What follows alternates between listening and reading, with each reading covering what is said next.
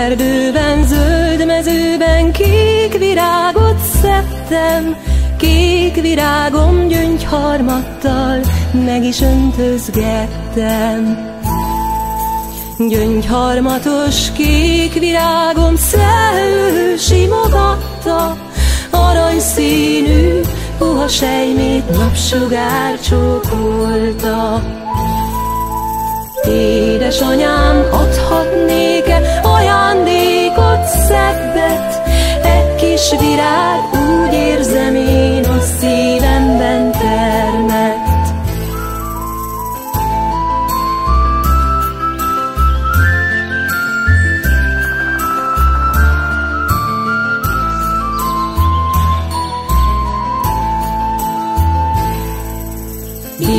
Édesanyám, adhatnék-e ajándékot szebbet?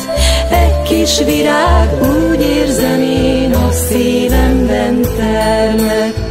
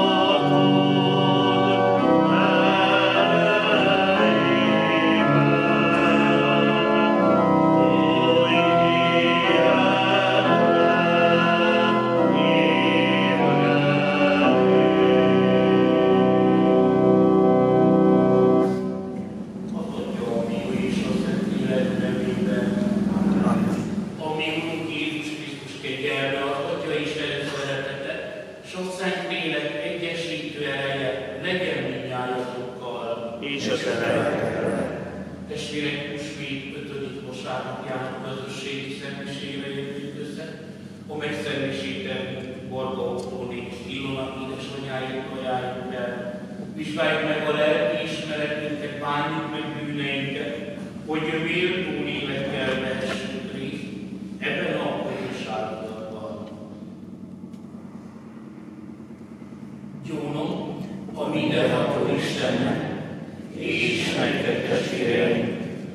sokszor és sokat védkeztem,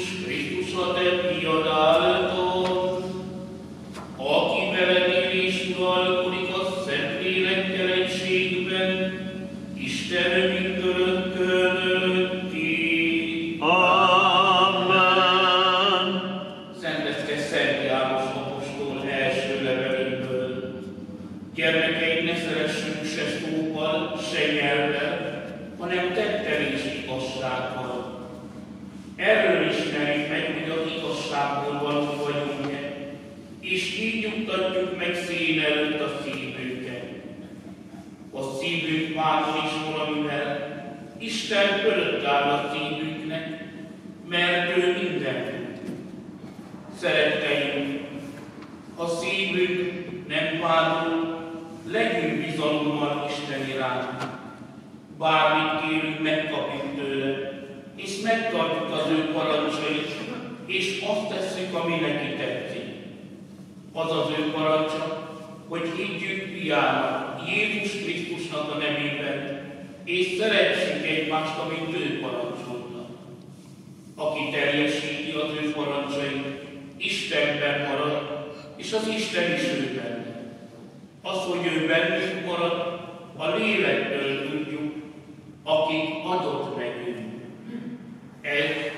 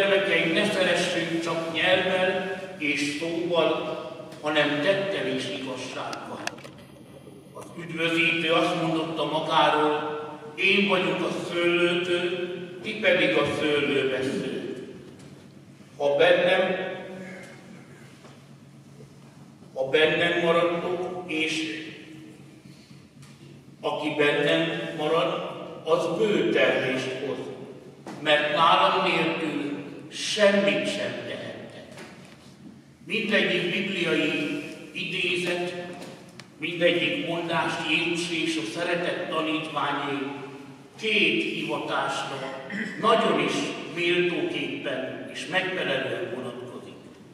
Egyik a papi és a szerzetes hivatás, amelyről a, amiért a múlt hétvégén imádkoztunk. Másik az édesanyai hivatás, akikért és amiért a mai napon imádkozunk, vagy éppen hálát. Mert a szeretetnek a forrása maga jó Isten, aki az elhivatottságot adta anyáinknak, nagyanyáinknak, a feleségeknek, az asszonyoknak, a férjeknek és apáknak, a papoknak és a szerzeteseknek. És amikor a papi hivatásról beszélünk, akkor először is a jó pásztor képe jut amelyet Jézus önmagára vonatkoztatott, és beszélt a jó pásztornak az elhivatottságáról, amely az ő életéből is, és sokak életéből is kiolvasható. És amikor a jó pásztor kép eszünkbe jut, akkor az azonosul, talán a gyermekkorunknak, talán a parunknak a plébánosával.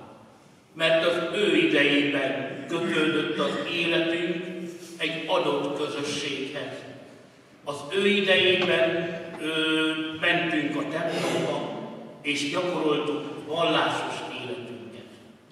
Nekem is adatott két ilyen jó pásztor.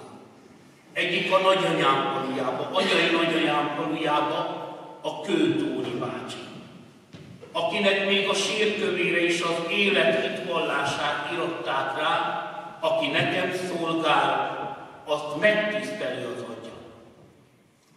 és ezt a szolgálatot gyerekként is fölfedeztem, bár akkor nem értettem, hogy mi az, csak valami olyan, olyan különleges volt, van vonzó volt.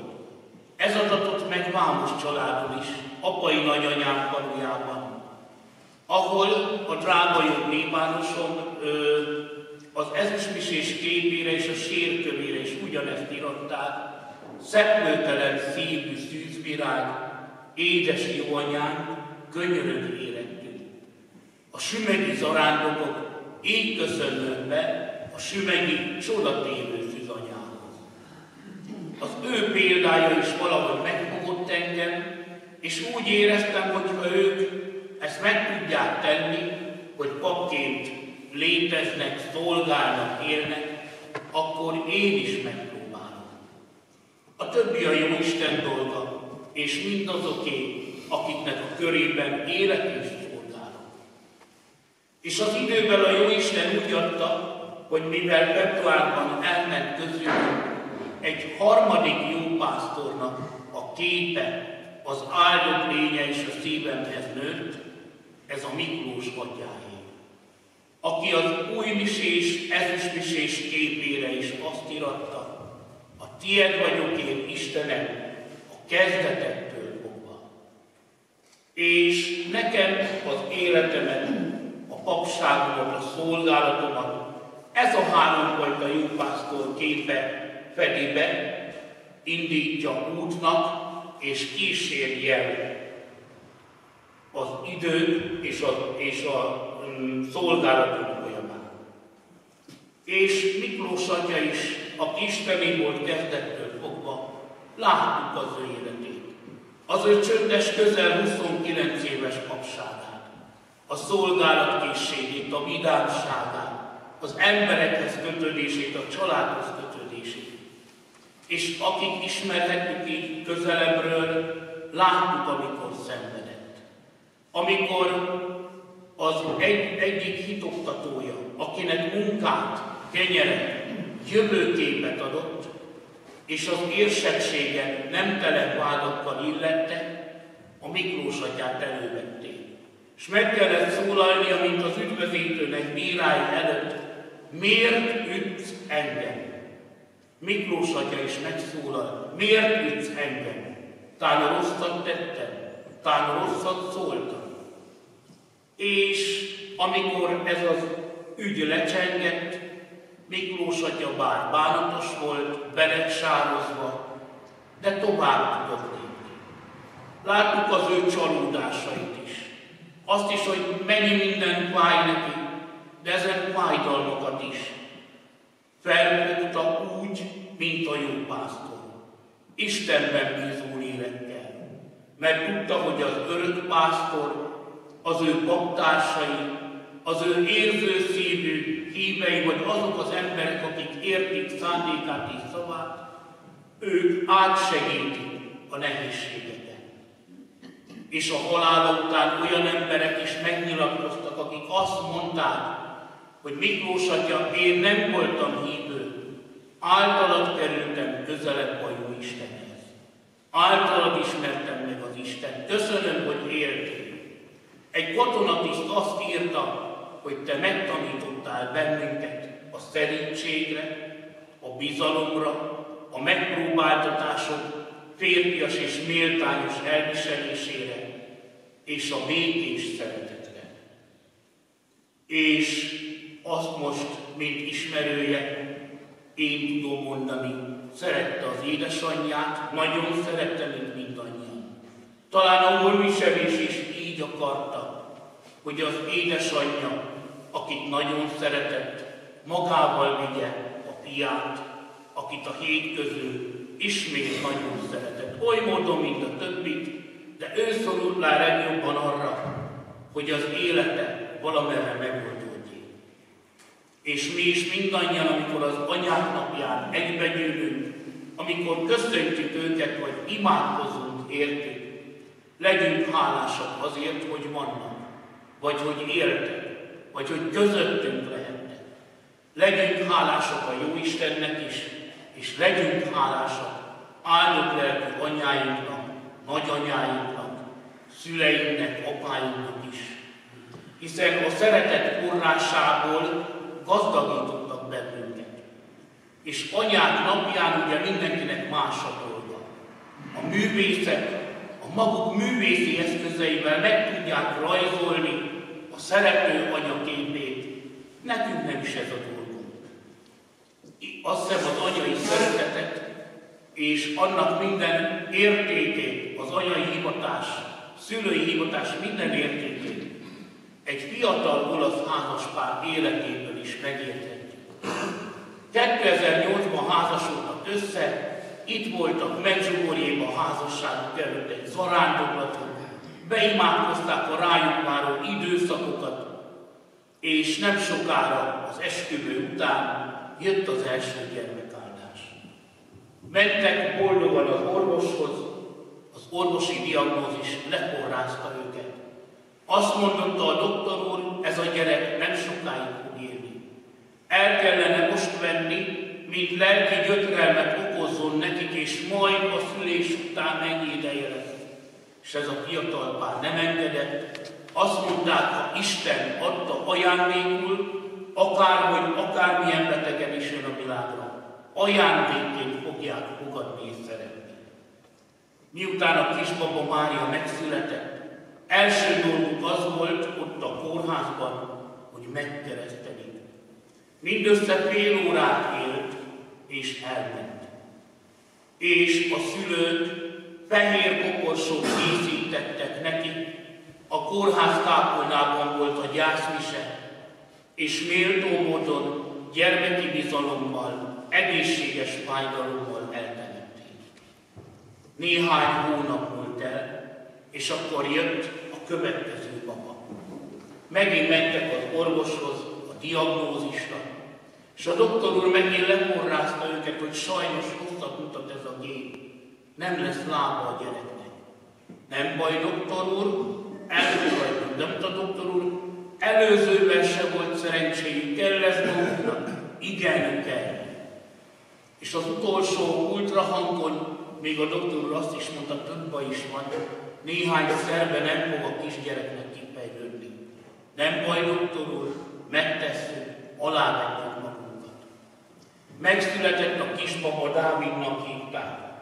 Hat hétig élt, addig babusgatták, szeretgették, gondozgatták, és hat hét után fájdalommal de bizalommal ők is eltemették. Aztán néhány évet vártak. Úgy érezték, még érettek és, és képesek arra, hogy még egy gyereknek életet adjanak. És az első ultrahangon, még a doktor is a fiatalasszony. Asszonyom, a gyerek egészséges. Ők is örültek, hálásak voltak. Tán 5-6 hónap ment el a várandós várakozásból, amikor a jóasszony nyelvén sebek jelentek meg. Utána ment a bajának. Azt kérdezte a professzor úrtól, mennyit árthat a gyereknek, ha kezeljük, mennyit ő neki. A professzor úr megmondta a szomorú valóságot. Ha önt mentjük meg, a gyermeknek kell elpusztulni. Ha a gyermeket mentjük meg, ön van végső veszélyben. És megbeszélve a férjével, azt mondta a jóasszony, életet adunk a kisgyereknek, akit Francesco-nak szeretnénk nevezni. Meg is született a kisbaba, utána a jóasszony alávetette magát a műtétnek, és vele együtt a rák kálmáriáinak, és körülbelül egy másfél évig az egyre romló egészsége elvitte őt a halál kapujáig. És amikor már annyira beteg volt, egy Ferences pátert kértek meg, hogy jöjjön a családba, aki lelki vigaszuk, támaszuk lesz a nehéz időkben. És ez a Ferences páter azt mondta, hogy a jó asszony, ő imádkozott csodáért, de nem azért, hogy ő meggyógyuljon, hanem ha ő ne talántán meghalna, a férje, a gyermeke, a szülők és a hozzátartozók mindezt lelki békével fogadják és békében tudjanak élni. És amikor már nagyon kevés ereje volt, úgy suttogta a férjének és a kisfiának, drágáim, el kell mennem innen a mennyországba, hogy a kis Máriával és Dáviddal imádkozza a ti életetekért és boldogságot és amikor ez a nemes lelkű eszköny visszaadta lelkét a Teremtőnek, akkor utána a temetésen zsúfolt volt a egyház. Imádság is volt, ének is, de taps, végtelenségi taps. Valahogy ez a temetés háladás volt. És a megilletődött bíboros azt mondta, tudjátok, kedveseim, az élet olyan, mint a hímzés. Van színe, meg van visszája. És azt a sok rendetlenséget a hímzésbe, ugye annak látjuk, mikor tesszük, csak a végén tisztul ki, akkor látjuk, mi az eredmény, mi az érték. Hát ilyen a mi földi életünk. És ennek az áldott lelkű asszonynak az élete, a nagy lelkűsége, a halála, a hozzáállása, mind-mind azt mutatja, hogy az életnek nagy értéke van. És egyszer meglátjuk az életnek az igazi vonalát. Édesanyának, édesapának, papnak, szerzetesnek, Szent János Pál pápa szabai legyenek a lelkünkben, aki azt mondotta, a kereszt azt jelenti, hogy nincs hajótörés remény nélkül. Nincsen sötétség hajnal nélkül, nincsen vihar menedék nélkül. A költő, aki édesanyjáról egyik versében állított emléket, az emelje fel a szívünket, az kulcsolja szívünket hálára, imádságra, az édesanyánk, a szeretteink, a családjaink iránt. Aranykötésű imakönyvet, hagyott rám örökül anyám. Kis Jézus égben glóriában van a könyv első oldalán. Sok év eltelt azóta, beírta jó anyám nemét, lehajtom a betűnkre kőben, hogy felidézzem szellemét. Írott imádság töredéke mellett van az anyám haja, emitt egy szennek víznak képe, s egy régi Halvány Mária, elnézem, Éppen viselt meg a sors néha engemet. Sokszor szeretnék sírni, ha nem szégyelném a könnyeket. Amen. Istenem.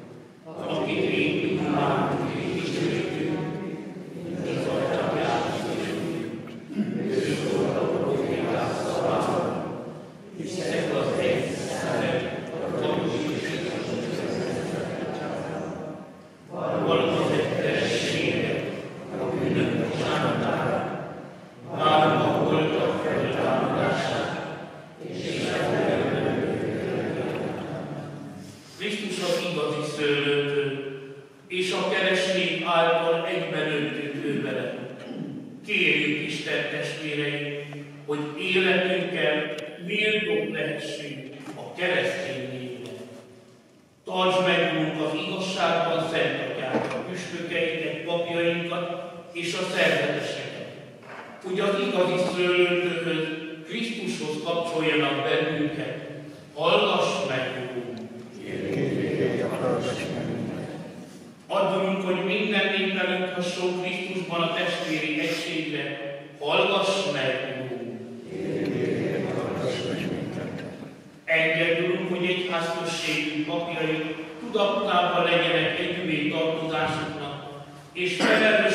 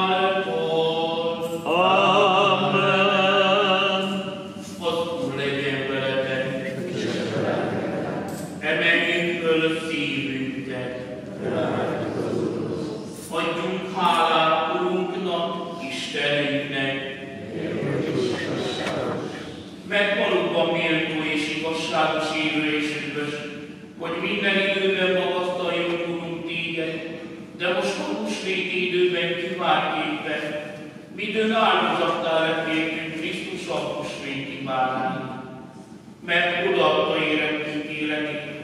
A régi áldozatok helyett kereszthalála lett a tökéletes áldozat, és üdvösségükért tulajával égető munkát, ő lett a főpap, az oltár és az áldozati bárány. A húsvéti örömezét kiárod az egész földre, a nagyvilág örvendezve millió, a mennyei erők és a hatalmas angyalok, a te dicsőséget, mint szintán az engem, és végelélkül életet.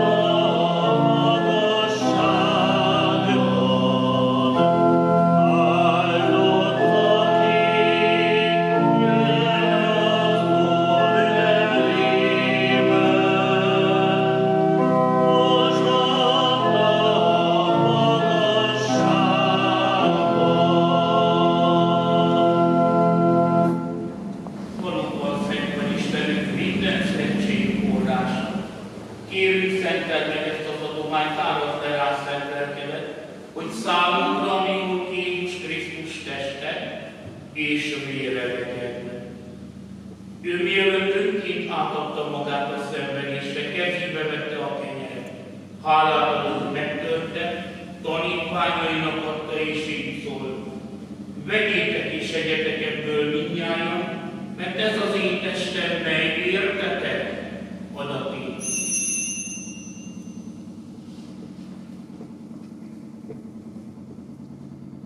a vacsora után ugyanígy kezébe vette a kejét is. Majd ismét hálát adott oda a tanítványainak is így szólt. Vegyétek és igyatok ebből mindjárt, mert ez az én vérem kejre, az új és szövetségé. Ez a vér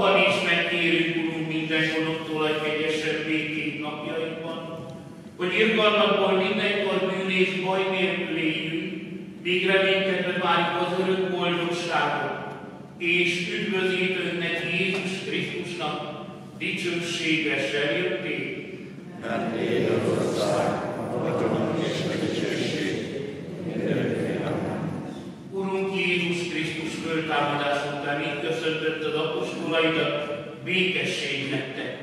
Ezért kérünk téged, aki legyőzted a bűnt és a halált, ne végteitet nézett, hanem egy házat hitél.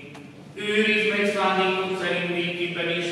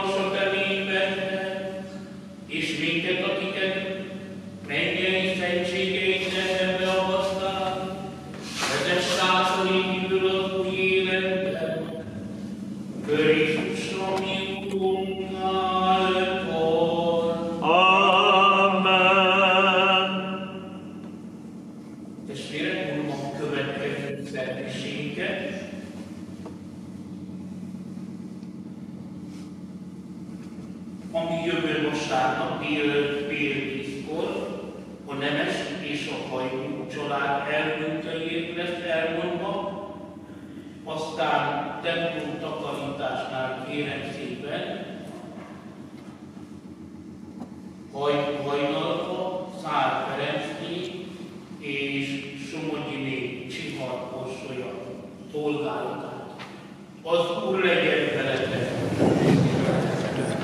Áldjon meg benneteket a mindenható Isten, az Atya, a Fiú és a Szentlélek. A szervése véget ér, mondjuk